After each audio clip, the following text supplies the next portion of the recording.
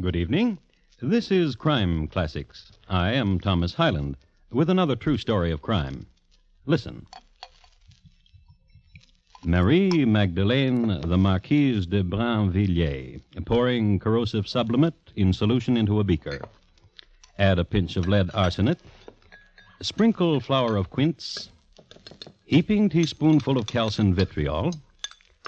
Swish it around to make everything go into solution.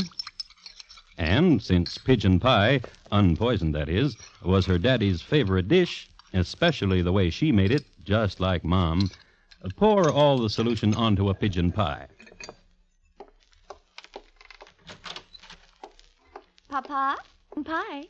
See how lovely. Tonight, my report to you on the lethal habit of the Marquise de Brinvilliers.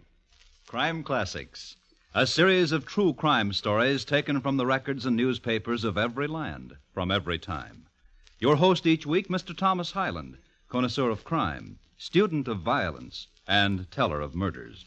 Now, once again, Mr. Thomas Hyland.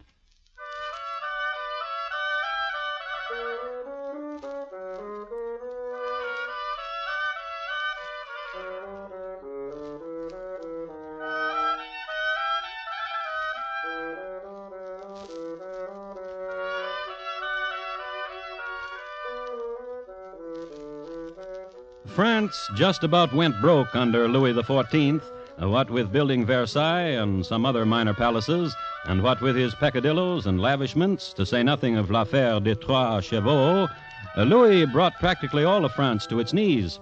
However, to be an aristocrat at this time was a very fine thing.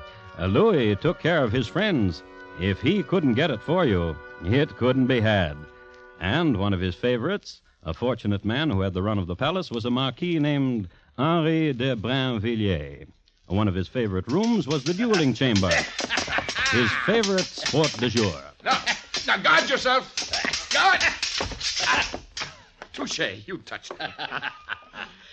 Ah, did you like that defense, Godin? Ah, very much. I thought this new attack I learned would surely confound you. Oh, you are young. You get better all the time. Thank you. Another bout, Henri? Oh, no, not now. I have an appointment in a little time. Oh?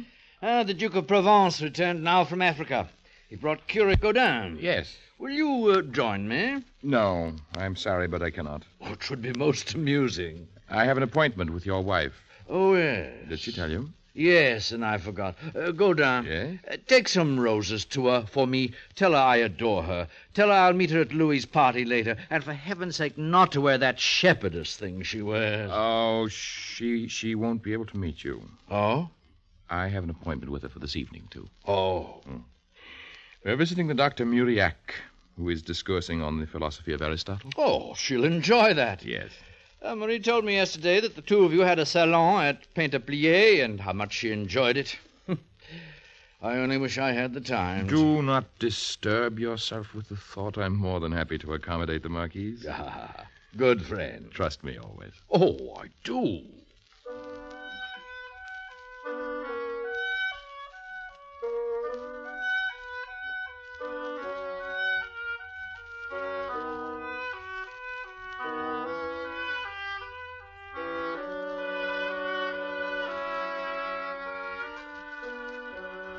Maddie, Yes, beloved. Yes, my cavalier. Yes, my lord.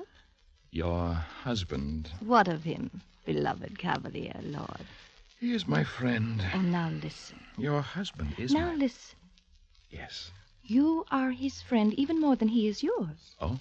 To escort me. Therefore, assuming his responsibilities toward me. Therefore, keeping me in constant joy. Therefore, not calling him to task that he comes home no more. True. Even tonight he is at the Duke of Provence, examining curios from Africa. And other nights, curios, treasures. Then what you say is very true. You are a very good friend to him. True. However, What? this evening we're to visit Dr. Muriac. Mm, so I told your husband. Philosophies of Aristotle. Together we could learn a truth that Aristotle never dreamed of. Oh, Cavalier. Oh, beloved. Oh, yes, yes.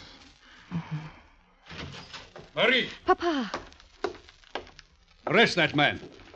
Your day has come, Godin Saint Croix. As magistrate of Paris, I order these men to take you to the Bastille. Papa! But, sir, uh, Your Honor, your daughter and I were just uh, making ready to go to a lecture. Take him out. Uh, D- D- Dr. Muriac on Aristotle. Uh, Marie, wait for me. Oh! That will rid you of him, Marie. Remember, you are a marquise. You are a wife. And as long as I am your father, your marriage will be an honorable one. Papa!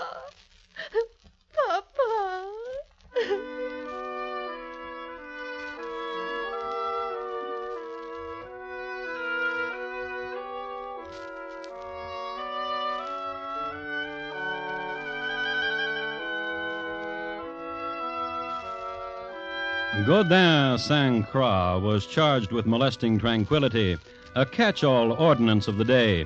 And when he appeared before the court, well, you know who was sitting on the bench Papa, the Marquise's father. And he was such a good father, so concerned with his daughter's tranquility, that Godin got the limit of the law three years in the Bastille. In jail, he was not what you'd call a mixer. He read a lot and mostly used to sit on the stone floor at the feet of one Exili Fortunato. Exili was a lifer, having practically wiped out a small village in the south of France by poison, an experimenter, alchemist and scientist that he was. elixir of tawny berry, which berries gathered neath the quarter moon will produce a withering of the chest cavity. Uh, death in three days. Mm, I remember that one. Acid of sulfur, uh, stirred into a broth of infernal stones and ladled gently into the ear. Will... Uh, but this must be done when the subject sleeps. Um, true. One that causes a quick and classic pain. And, and is quick and leaves no trace, actually. Lead arsenate, tripled distilled. Desiccate the flower of quince and sprinkle it. Then calcined vitriol. And you are king of the world.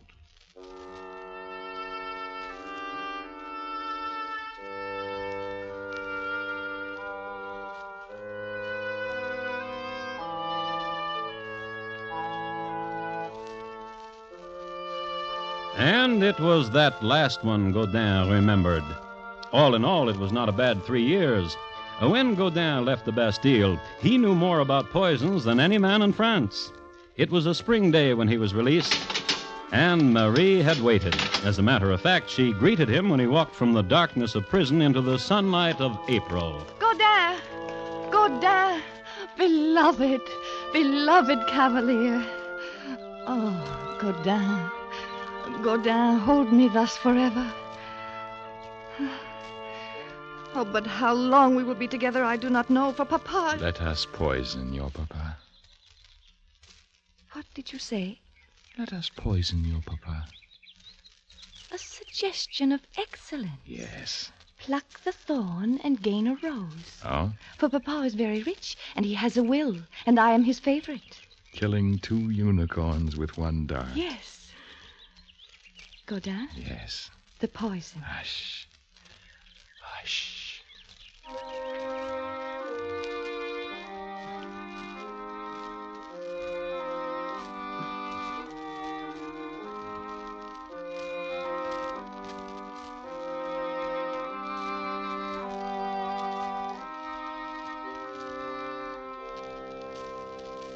Mathilde? Yes, madame. Come here, Mathilde. Yes, madame. Yes, madame. The Chevalier Saint Croix wishes to give you something. Oh, yes, madame. Yes, monsieur. A sweet for a pretty serving girl. Oh, yes, monsieur. A triangle tart of honey and crushed poppy seeds. Take it. Take it, Mathilde. Yes, monsieur. Eat it, Mathilde. Yes, madame. Is it good? Yes, madame. Still good? Yes, madame. Well, I. Madame! What is it, Mathilde? I I have a tingling feeling as if my heart were being. pricked with needles. Yes, monsieur. And a great wave of blackness.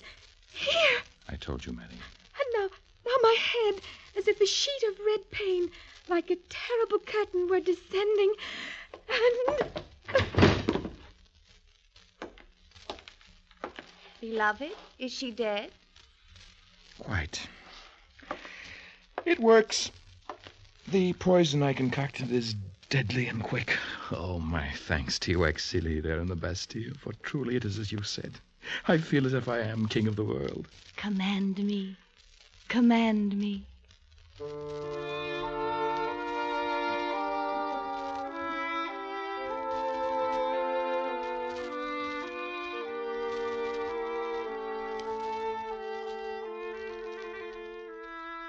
Scientific approach. The formula, the experiment, the proof.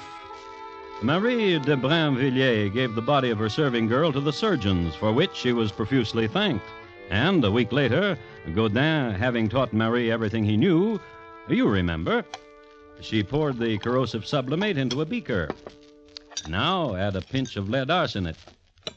Sprinkle the flour of quince, heaping teaspoonful of calcined vitriol. Swish it around, then pour it all onto a pigeon pie.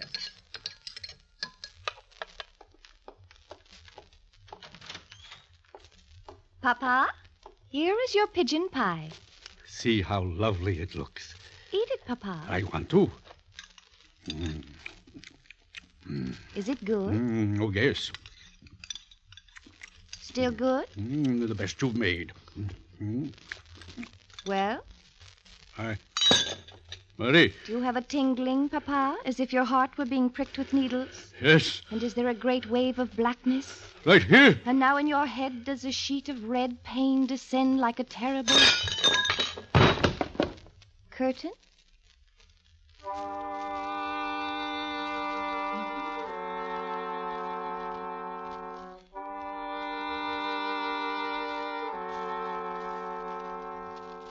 Marie then did this. She listened to her daddy's heart. It wasn't beating. She gave him the mirror test for breath.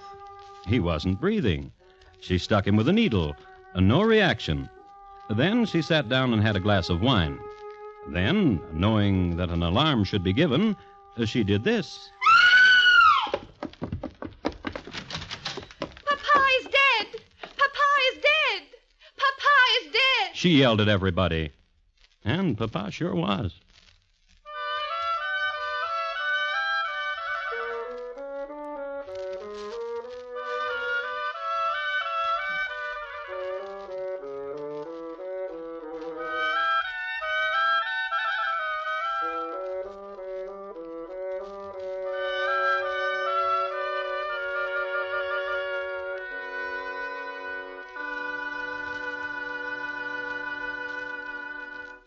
You are listening to Crime Classics and your host, Thomas Hyland. Another big weekend coming up. The lure of an extra day off is sure to bring out a flood tide of weekend drivers. A word of reminder to drivers and pedestrians alike it's the peak traffic loads that cause most accidents. If you're going somewhere, leave early and take your time. Don't permit yourself to drive under rush conditions. Drive carefully holidays, all the days. Drive to survive. Now, once again, Thomas Hyland in the second act of Crime Classics and his report to you on the lethal habit of the Marquise de Brinvilliers.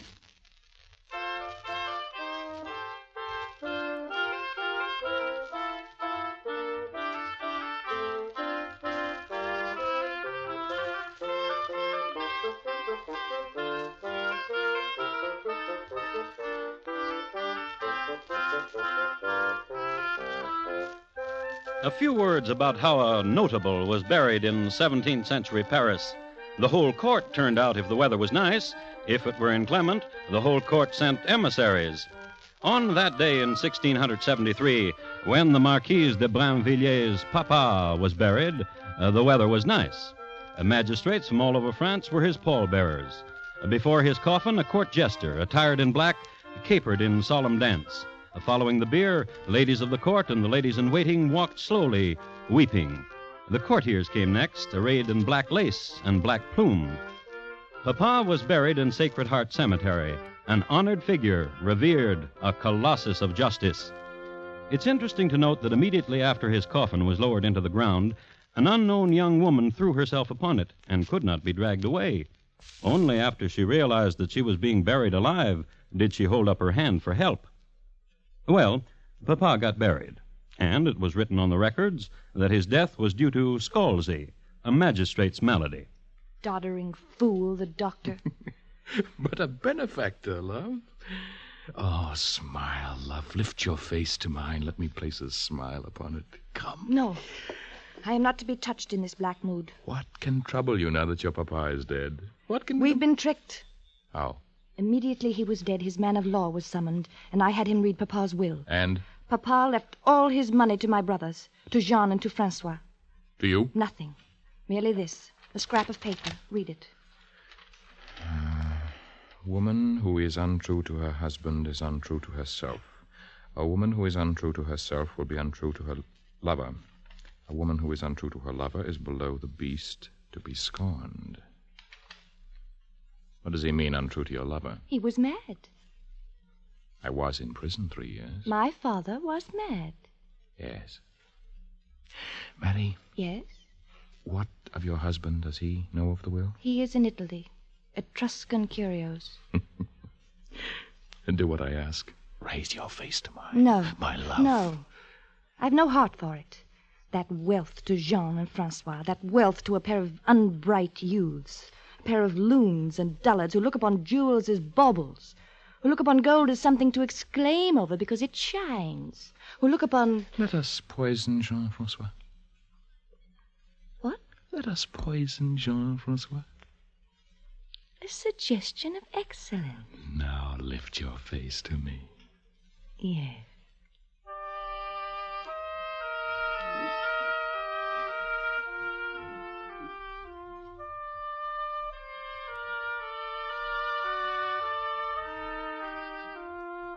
They had to come this far, these star struck lovers.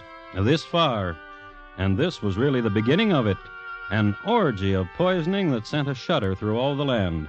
And before they were finished, so many people died that Paris thought she was in the grip of a strange epidemic. But the beginning, then. In the charity hospital of Saint Vercourt, not a large place and run by donations and the largesse of doctors and nurses, one of the nurses was named Angelina Murer, and this is how it went.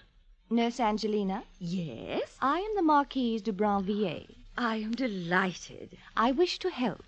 I am delighted. To read to the patients? I wish to work in the kitchen. Such as you? In the kitchen. We welcome you. Somehow, and history does not know why, the lovers decided not to use the same poison as killed Papa, but to try out others, to experiment. Somehow they were caught up in the idea of killing with powders and distillates. So Marie Magdalene de Brinvilliers went to work in the hospital kitchen. There she seasoned three dishes with her own condiments a pudding sprinkled with elixir of hashish and cinnamon, another a sauce compounded of bismuth and strychnine and turpentine, and the third a fruit drink in which was dissolved a bit of opium, lye, and digitalis. And next day, So sad, Marquise. What is?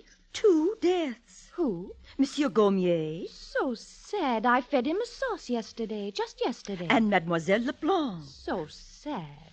I made a delicious orangeade yesterday, just yesterday. Oh, she shriveled and died. And the youth, Emile Roger, languishes. So sad.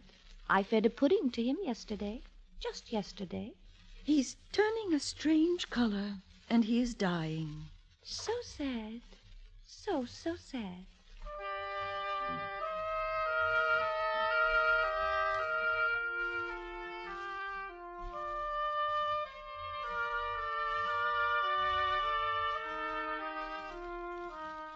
Opium, lye, and digitalis. In prison, actually said it was one of the most efficient. Oh, and he is right. A person shrivels and dies. And then your brothers. Now. What now? Oh, so anxious you were. Oh, there's a fascination in this, Godin. A thing you said. King of the world. King of the world. And now I know it. Yes. And now my brother Jean is in his bedroom. Take this melon to him. It's seasoned well. And you? I'll take this other melon to my brother Francois. Come. And when this day is over, the wealth of Papa will be ours. Jean's room is right there. And when it is over. I'll fly to you. And for now, farewell. Come in. Ah, Godin. How pleasant to see you. And what have you there? A melon. Oh, I'll wager my sister sent it to me knowing how I love melon. Mmm. Mmm. Succulent. Sweet. Such a delicate flavor that fairly melts in the.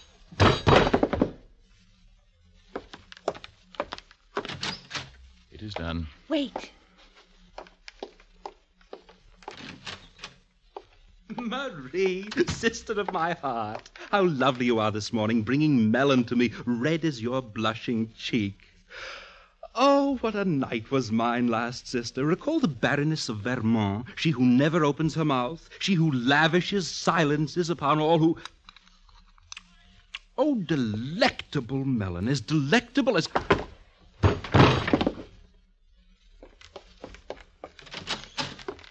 Godin, Godin, beloved. You, the king of the world, and I, the queen.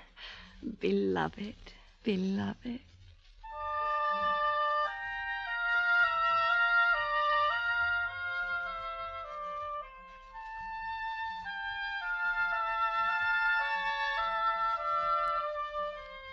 She liked it. It was an ecstasy. At first, Godin looked a bit askance at her enthusiasm, which more than matched his own. But after a while, My life, my love, to have deserved you. not only deserved her, Sardonyx would say he was stuck with her because the habit became immediate. All she had to do was not like somebody, and that was the end of somebody.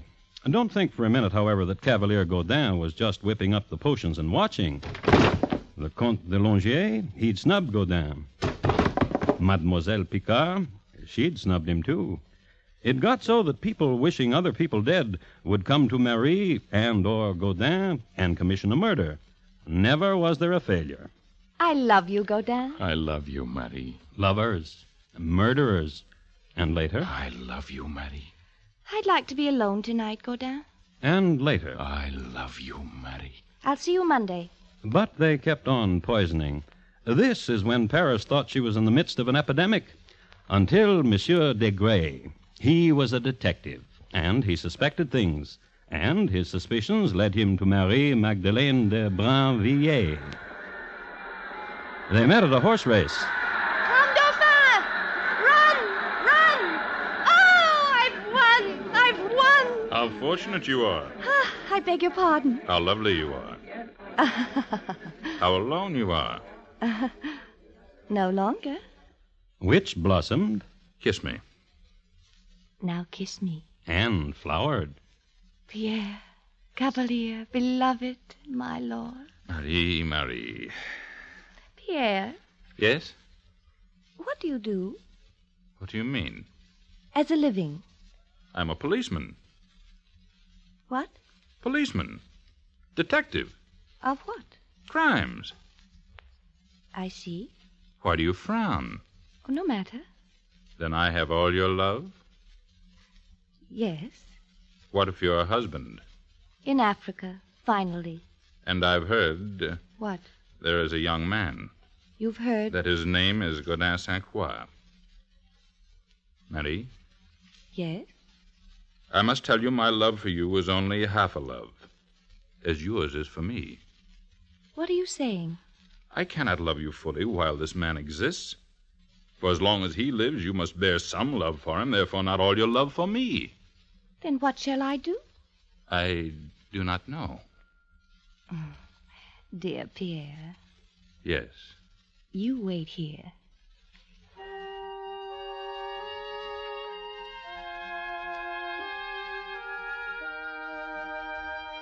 Godin, Godin, beloved, how I've neglected you, and how I've missed you, and how burns my love for you. Quench this fire with your kisses. Oh, yes, and kiss me once again. And again. Was not your death sweet, Godin? Farewell, Godin.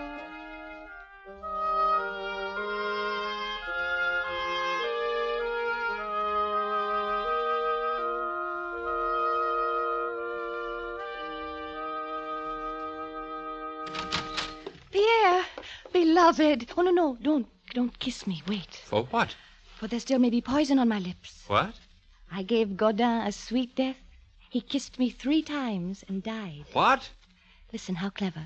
I daubed my lips with a sealing oil, and upon this I placed a poison, so that myself I could not absorb the poison. But whoever kissed me. Died. Yes, And now Godin is dead. yes, And you killed him. yes, yes, oh yes, for you, beloved. Killed him for You were under arrest. What? Murderous. Pierre. Vile. Oh, Evil. oh, my love I gave to you. Horror. You tricked me. Tricked me. Beast. Beast.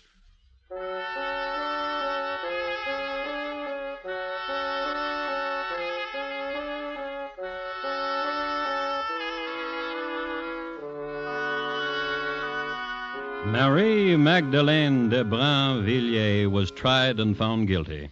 She was sentenced to be garroted. In jail, she went mad, and while awaiting her execution, she had hallucinations that all the food had been poisoned. So she didn't touch anything. So she starved to death. Her husband, incidentally, never came back from Africa.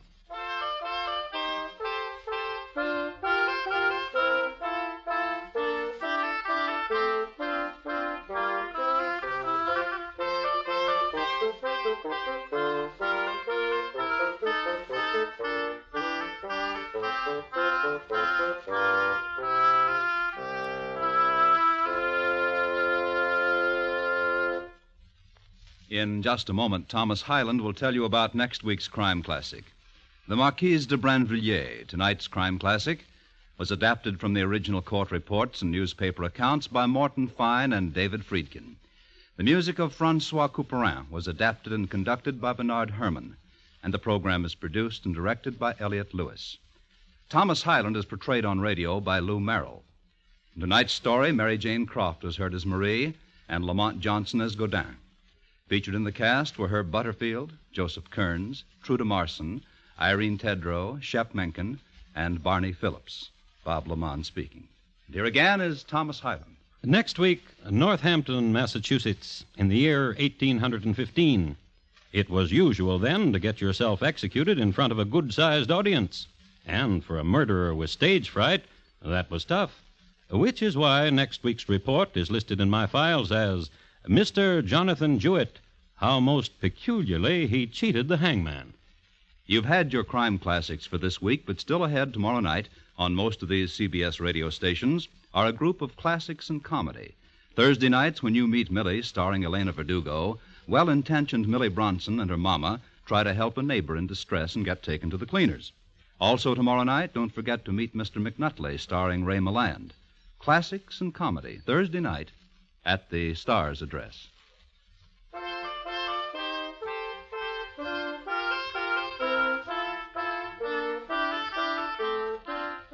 Friday nights, enjoy a full hour Arthur Godfrey Digest on the CBS Radio Network.